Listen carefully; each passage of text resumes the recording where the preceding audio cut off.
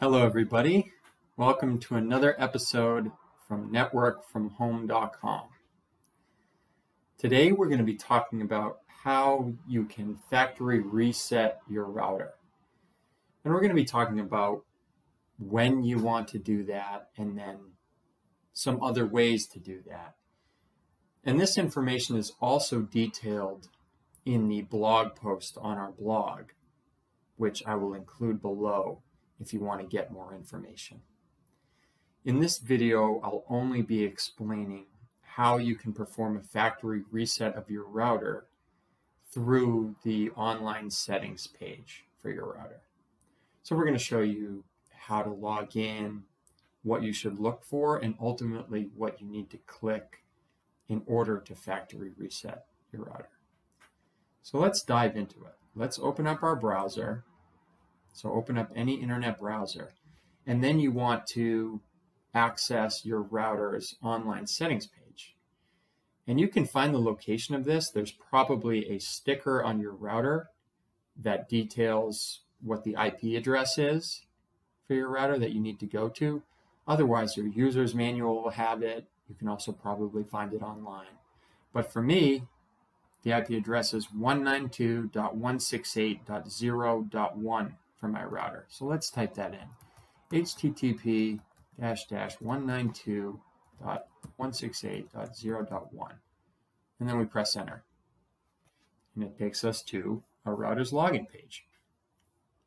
So now is the appropriate time to put in your username and password. And obviously, you must know what those are in order to take this next step. But let's do this now. Let's log in with our username and password. Okay. We have successfully logged into our router. And you'll probably have a page similar to this one. I have a TP-Link Archer A7 router, and this is what the settings page looks like. It might look similar depending upon the manufacturer and the model of your router, but they all pretty much have the same settings. So when we talk about a factory reset, that's a more advanced option. So it makes sense then that we have to go to the advanced tab for the advanced settings. So let's do that. Let's go to the advanced tab.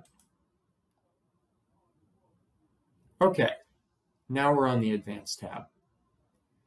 Let's find out where we need to go to factory reset our router. So if you scroll down on the left, there are lots of options and categories here of settings. And if you scroll down a little bit, you see that there's a system tools setting. And it might say system settings, or it might be similar to this, but that's where you want to go because this is a system setting that you're making when you perform a factory reset. So let's click on System Tools and see what our options are. Okay, so we have a little bit of a drop down.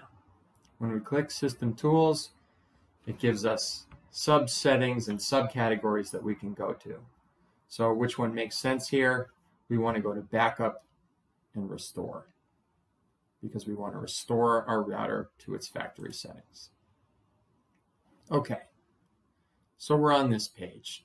you have the ability to back up the settings of your router if you want to save them. You can restore your router to a previous configuration that you may have saved, or you can perform a factory default restore. And there are two different options here, and it's important to make the distinction between the two.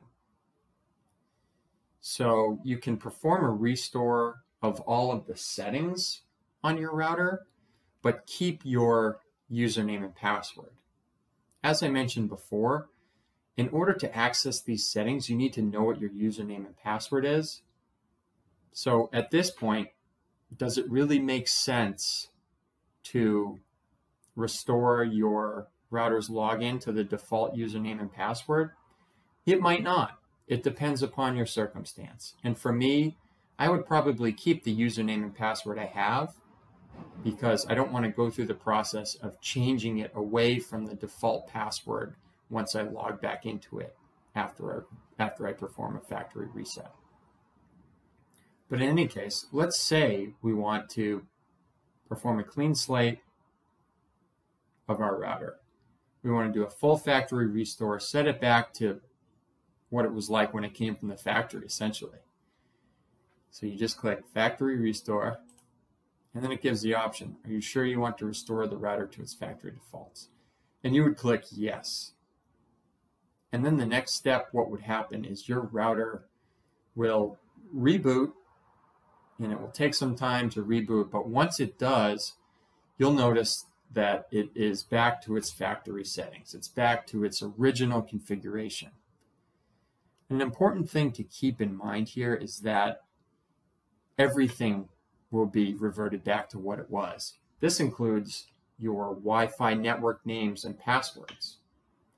So your, uh, your all your devices won't be able to connect to the internet until you either connect them to the default network names that the router came with, or you access these online settings and you change your Wi-Fi networks to have identification names and passwords that you want.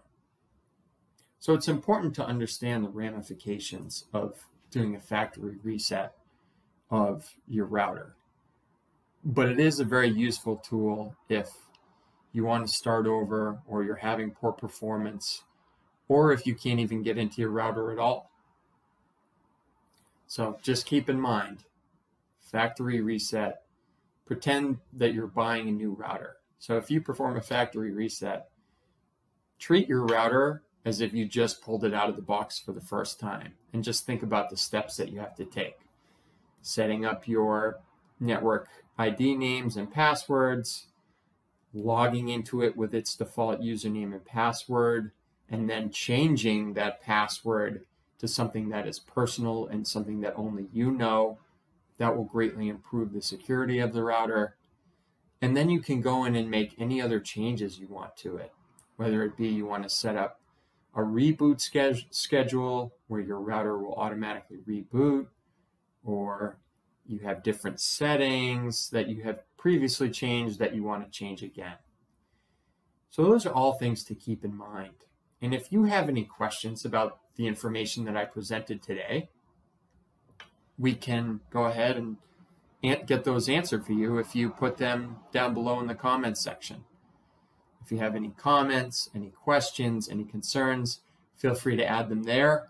Otherwise, you can check out the blog post that I have included below, and you can ask questions on that forum as well. And I'll do my best to respond to everybody's questions.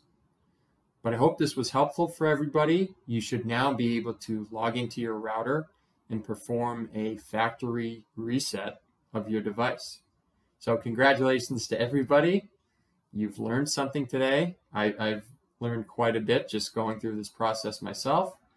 And we hope to catch you around again. Stay tuned for more episodes from networkfromhome.com. Thanks a lot.